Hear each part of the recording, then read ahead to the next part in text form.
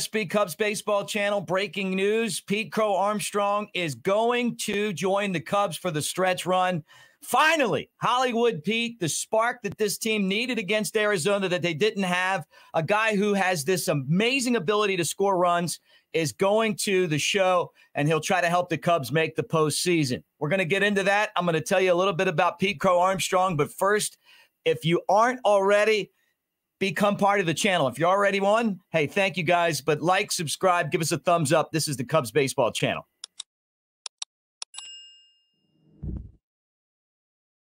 All right, yeah, the uh, news just broke. Jeff Passan reporting that Pete Crow Armstrong, the guy that I nicknamed Hollywood because of his amazing ability to play baseball and this just this Hollywood demeanor, is going to join the Cubs, and I think they really really need him right now. I think this is a great time for the Cubs to make this move.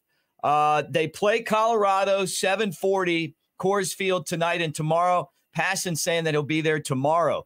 Um, this is, I think, this is the kind of move that the Cubs need right now. The offense had a lot of trouble scoring runs, and Pete Crow Armstrong is a run scoring machine. He's better than anyone on the Cubs roster, I'd say, right now at, at running the bases and and and scoring. Now, I'm not saying he's a Rickey Henderson type, you know, threat to steal. I'm just saying running the bases. I, I joked with Doug Dascenzo, the former Cub and the Cubs minor league base running coordinator, that it's like Pete Crow Armstrong has X-ray vision. He just can see something happen before it does. He's not going to wait around. If the ball kicks by the catcher, he's getting the second base. Three feet, eight feet, 10 feet, 12 feet. The guy just knows how to do it and he's gonna he's gonna force the opposition starting in Colorado to pay attention to him if he's on base. He's a he's a blend of speed, power, and this ability to score runs. I don't know how it's going to look right now. You know, he he struggled in Iowa when he first got there, and then over the last couple of games, he's hit the cover off the ball. You know, three and four hits a game, and that's what we saw in Double A Tennessee, where I watched a lot of Pete Crow Armstrong. Um, he's a great defender. He won the Gold Glove last year in the minor leagues. Might win it again this year. He's a center fielder. He can play the corner spots, but really where you want to put him to utilize his ability is in center field. What makes him a great center fielder?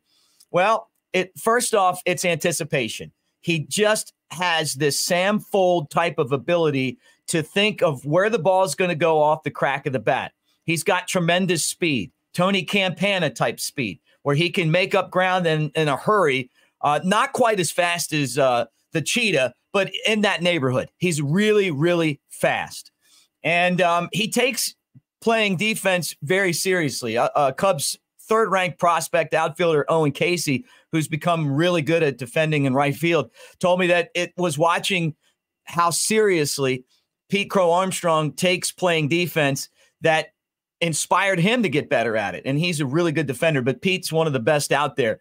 Um, he's got the it factor. We talked to Tim Wilken, and these are all videos that you can see here on the Cubs baseball channel. Tim Wilken, longtime uh, scouting director for different teams, including the Cubs in the past.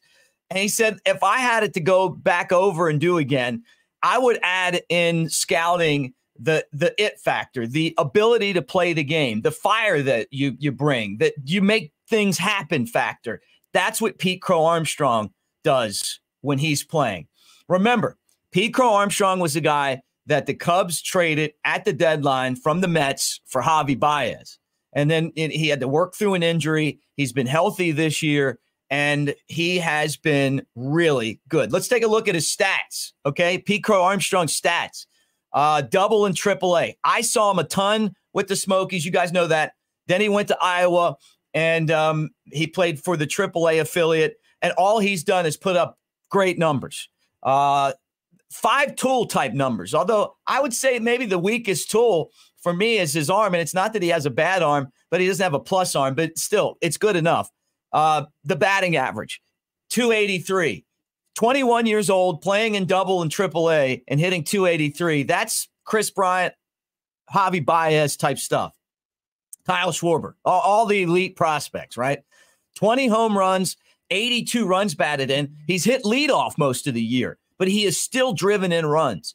Uh, he's got this these hands to ball, bat speed. eye to hand quickness that's elite. Uh, I described him as very Bryce Harperish, just with this, with the the hand to eye speed, and then the intensity that he plays the game with. He's going to throw his helmet. He's going to get mad. He wants to win every single thing that he does.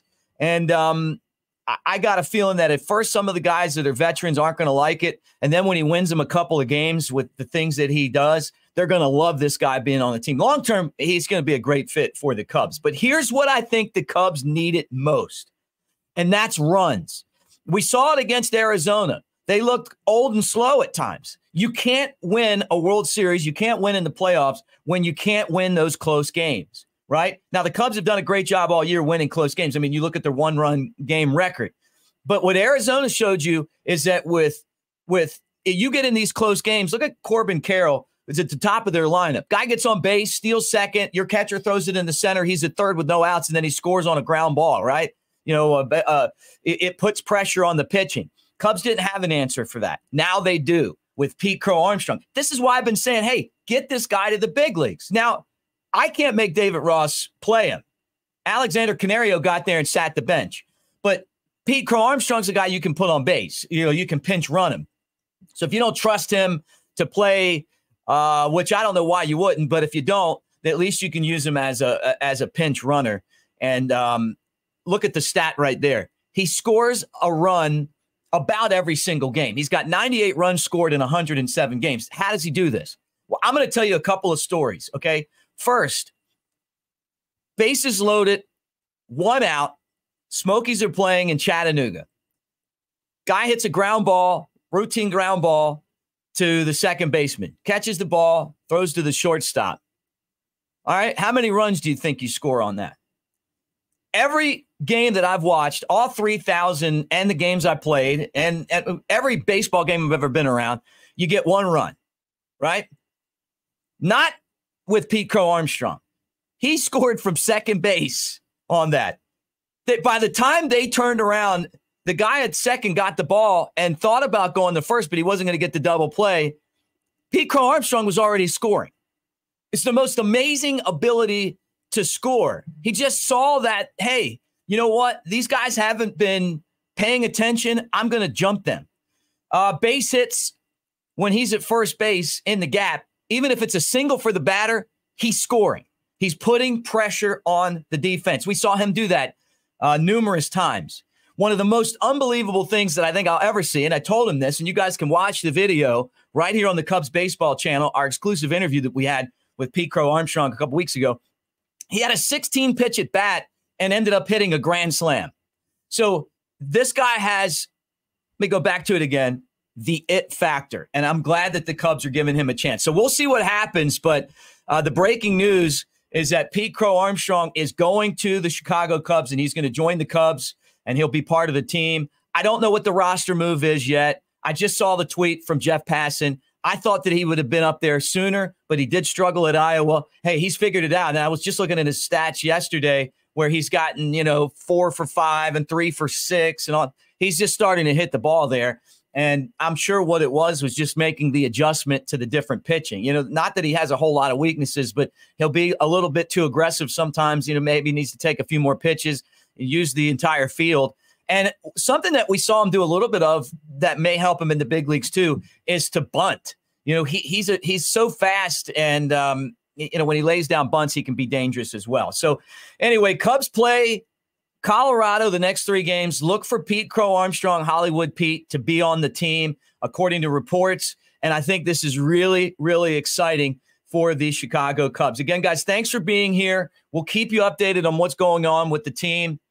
Uh, like and subscribe, give us a thumbs up, and thank you for being here today. Go Cubs.